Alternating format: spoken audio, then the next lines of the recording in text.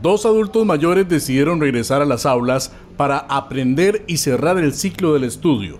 Lo han hecho en el CINDEA de Naranjo de Laurel. Ellos dicen que quieren ser ejemplo para los demás, de que sí se puede, a pesar de la edad, terminar o empezar los estudios.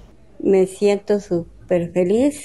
Todos los profesores, las profesoras son pura vida. Ellos me tratan con amor, con mucho cariño. Bueno, yo me llevo muy bien con ellos todos. Cuénteme, ¿tiene familia usted? Sí, tengo familia. Este, Canoa, Ciudad Nelio, todo, sí. ¿Esposo?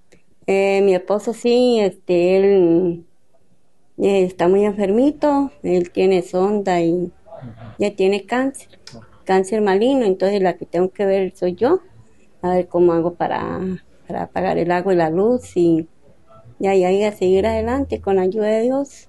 Doña Villanira, ¿eso le motiva a usted más para seguir estudiando? Eh, viera que sí, en veces me ha sentido un poquito así, pero digo, no, tengo que seguir adelante porque es un bien para mí y a Ale también, a, los jóvenes y a las personas que quieren estudiar y que hay que seguir uno estudiando. ¿Qué le dicen sus hijas? Ya mis hijas están, dice que, dice que es un ejemplo que le estoy dando a ella porque ya en, Dije, ay mami, dice, usted lo está dando ejemplo, dice, qué vergüenza que nosotros no hemos sacado el sexto. Entonces, pero esto es un ejemplo, dice, para nosotros ir a estudiar. ¿Cómo hace para, no sé, costearse libros, eh, exámenes, eh, cuando hay que pagar algo? Viera que ya yo comienzo a, hacer empanaditas o, o, en vez de helados, comienzo a vender y así eh, para, para ayudarme y le va bien en las ventas. O a veces sí, a veces no. Em, a veces sí, a veces no. No, no me va muy bien. Sí, me han llegado. Muchas personas me han ayudado con, con platitas y comiditas. Hasta me han hecho llorar. Sí.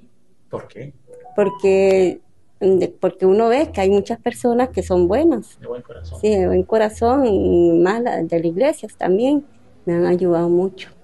Doña Villanira, ¿Cuál es el futuro suyo? ¿Qué piensa usted después de, seguir estudiando? Ya, y, yo no sé, pero yo veo muy bonito. Yo quiero, digamos, mostrarle a, todos que, que hay uno para, para, para, tienen que estudiar para ver si uno busca un trabajito. Porque viera qué duro, yo he buscado trabajo en casa, me han recibido bien, en otra parte me han recibido muy mal, entonces ya hay es mejor estudiar para tener un buen trabajito.